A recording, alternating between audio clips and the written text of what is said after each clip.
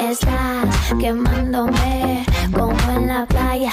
Estás gustándome, ya no te vayas. Estoy quemándote como en la Seguim a Adolescents ICAT, això és ICAT, per si algú s'ha confós ara posant la ràdio el que sigui. Saludem a tota la penya que ens està escoltant per la ràdio, també a YouTube, i dir-vos que la cançó aquesta, que hi ha molta gent que pregunta i que la Juliana ha fet un... Oh, què és això? És la nova cançó d'Ina que es diu Tu manera. Escolta, escolta. manera de mirar me pone mal. Hey.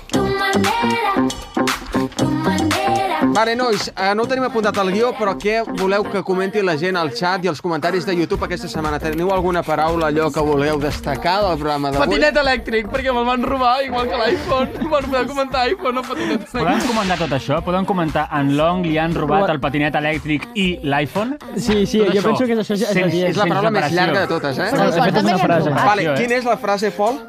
Eh, en Long li han robat el patinet elèctric i l'iPhone. Comenteu això. Tots junts, sense I també, espais. I també podeu comentar si us fan mandra, pobre Long. Pobre Long. Oh. Oh. A Pol. La secció d'en Pol i d'en Rafel i d'en Jaume, depèn del dia, vale? Vinga. Ah, ah, ja, ah, Come ah, on, ja, Adolescents i cat, ja. Perquè encara no ens han trucat del terrat. No sé per què he dit això. Uh! Va, ja està, ja està, ja cal. Home, alguna trucada hi ha hagut, eh? Va, a veure, Pol. Bueno, La meva pregunta és, a veure, Va. vosaltres, per desestressar-vos, què feu? Masturbar-me. Exacte. Sabia, és que per, per què no em sorprèn aquesta resposta? És que pen- jo, jo a casa meva pensava, si pregunto això és que algú dirà això, però tots? I, I tu què fas per, per desestressar-te? Jo escoltar ASMR, mirar sèries, jo llegir l'enciclopèdia Mentida. catalana, què vols que faci? Jo, Masturbar-te? no! A veure, jo vinc a parlar eh, d'una nova tendència, que és tendència a Bèlgica, en la que bàsicament tu vas a un bar, no?, a prendre't una cerveseta Sí? i a llançar destrals Yes! contra, contra una puta paret. Eh, po Vale. podem anar a fer un report i vaig jo? Si te'l pagues tu, sí. No, jo no, no. Us llegeixo aquest article, ¿vale? perquè és espectacular. ¿vale? El, titular, el titular diu ¿Qué tiene que ver una hacha y una cerveza con el estrés? Així de primeres, enllaçant tots aquests factors, sembla el titular d'un homicidi. ¿vale? Sí, sí, sí.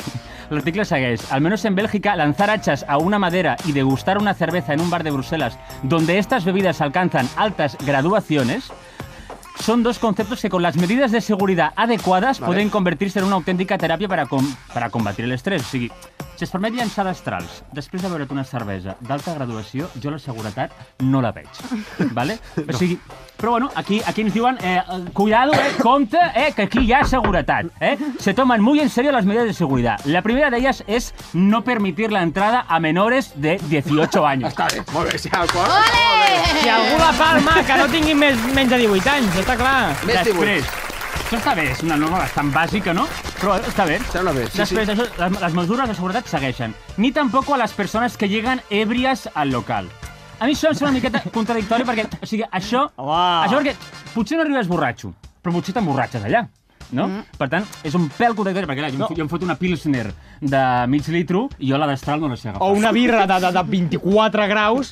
Però jo, a veure, aquí si has de matar algú, que sigui perquè t'has emborratxat a dintre. Exacte, no? Però espera, espera que... Ah, bueno, els arguments són gloriosos, això sí. Eh, aquí diuen que l'última mesura és entregar una única hacha por grupo, en plan, només una, ¿vale? Hòstia, Una si anéssim per tots, grup. només la podria llançar un? No, no, no, no, no, no, no. Ah. No, ens donen una para que los lanzamientos se, se realicen una a una dentro de un espacio Vale. cuidadosamente delimitado y vallado lo- a lo que Romain, que és un dels jefes, Sí? define como una especie de caja. Si jo després d'haver-me fotut una cervesa de 24 graus em fos a una caixa amb una puta destral, a mi m'agafa un atac d'ansietat. Jo no sé com, jo no sé què haig de fer amb això. Jo, jo a mi m'agradaria provar d'anar-hi. Si, si es fa aquí, provar d'anar-hi tots, perquè jo imagino en Joan dient «Oh, escala puta! No he pogut fer el meu minut avui! Puto polilong de merda! de fet, Ja, t'estàs- t'estàs t'estàs posant catxondo ja, no, eh? pots agafar el, el T'estàs globo aquest? erectant amb la destral. A- Em podeu donar aquella cosa vermella, sí? No, no, no, No, no, no, no, no, no, no, no, no, no. Acabes de trencar el coet del Tintín? No, S'ha desmuntat el coet del Tintín, eh? és que és un bolígraf, Has de, també. has de donar explicacions d'això, eh? Doneu-me, doneu-me... la- Oh! Et torno els globus. Que sóc un monstre. Però ha caigut el meu mòbil, també. Ha caigut el mòbil, eh? Ah, perdoneu, perdoneu. Un moment, un moment, un moment. Quants problemes. Està bé, està bé. Doncs ja està, aquí la meva secció, quasi trenco el meu mòbil, ens carreguem un coet d'en Tintín i, bueno, tot normal, com sempre. Gràcies, Pol.